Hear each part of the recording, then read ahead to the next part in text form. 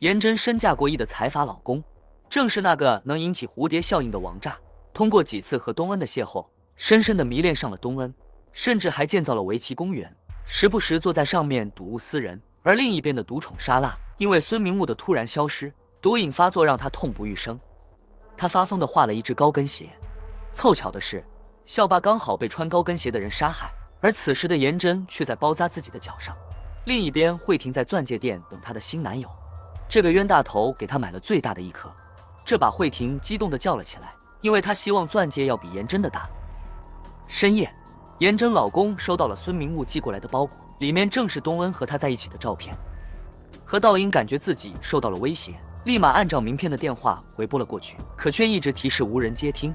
无奈，他只能找到了孙明悟的主子全在俊，希望能从他口中得知孙明悟的下落。而此时的全在俊对何道英爱搭不理。就在昨天，在俊收到一个绿色的牙刷。他利用了上面的 DNA 做了亲子鉴定，结果显示颜真的女儿竟然是自己的亲生骨肉。想着眼前的男人正在霸占着自己的女人和女儿，在俊气不打一处来，他没好气地说：“孙明木已经辞职半个月了，自己也联系不上他。”当他拿起烟并点燃时，何道英突然想起他和妻子竟抽同一款烟，连抽烟的姿势都是一模一样。他开始警觉了，因为村民屋的消失把东恩的计划打乱。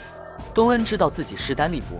此刻他需要一个刽子手，而这个人是暗恋自己已久的汝镇。他辞去了医院的工作，来到东恩的城市开一家诊所。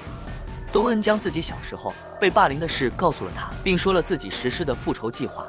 可汝镇的态度却让东恩大失所望。他竟然劝东恩放下仇恨，可未经他人苦，莫劝他人善。东恩直接脱掉衣服，露出自己最不堪的一面。